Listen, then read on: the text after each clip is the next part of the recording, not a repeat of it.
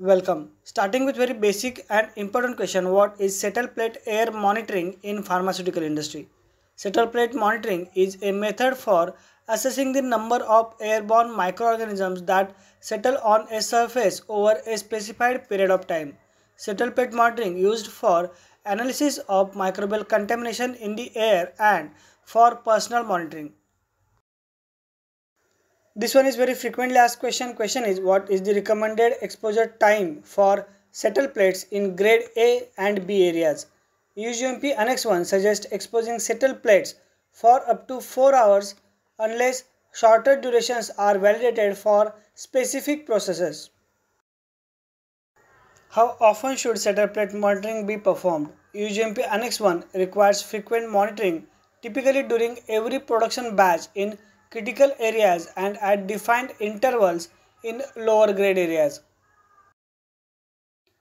What are the acceptable microbial limits for settle plates in grade A areas? According to EU GMP Annex 1, the action limit is 1 CFU that is colony forming units in grade A areas for a 4 hour exposure period. How should settle plates be handled after exposure? According to USP chapter number 1116, plates should be immediately covered, labeled and transported aseptically to prevent contamination during transfer. Can setter plates be used in isolators? Direct answer is yes. As per EU GMP Annex 1, setter plates can monitor isolators, but placement must not interfere with critical operations. How should setter plates be placed in clean rooms? ISO 14644-1 recommends positioning plates in locations most representative of air quality such as near critical operations and airflow paths. What actions should be taken if settle plate results exceed alert limits?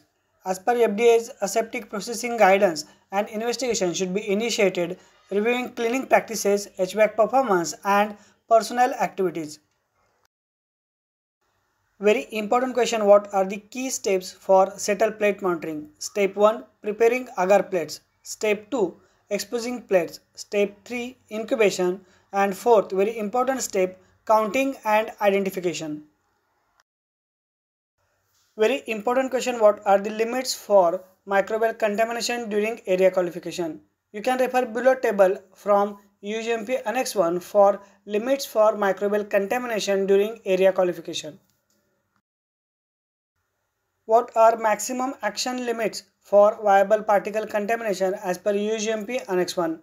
You can refer below table for maximum action limits for viable particle contamination as per EU GMP Annex 1.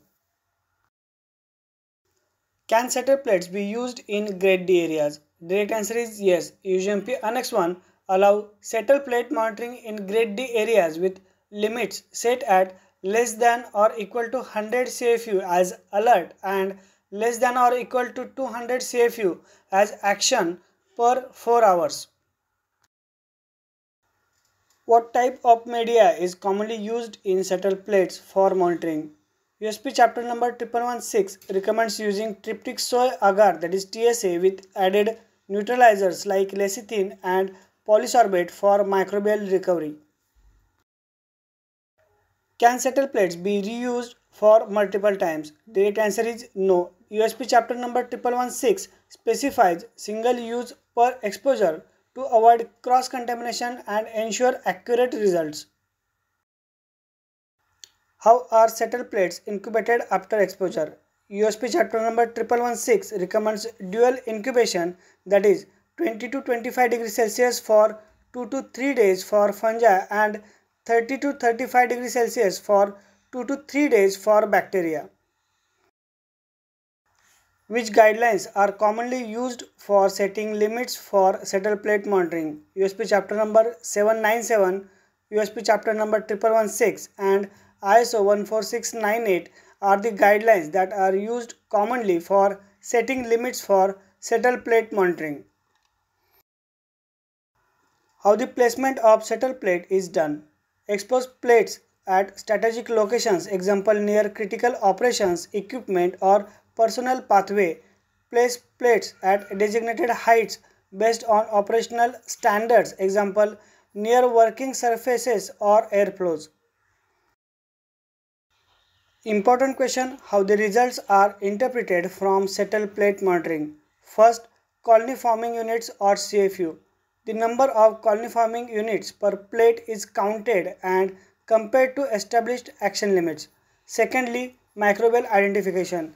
Identified microorganisms are evaluated for their potential impact on product quality and patient safety.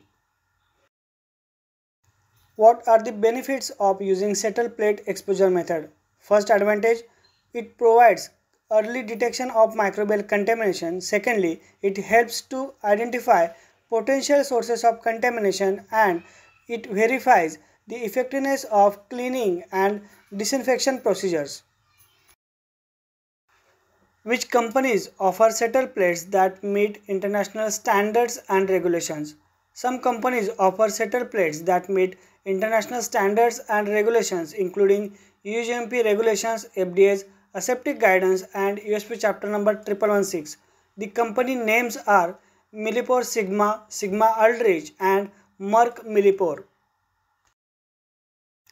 What are the common root causes for settle plate excursion? First, environmental factors. It includes HVAC system performance, airflow, temperature and humidity.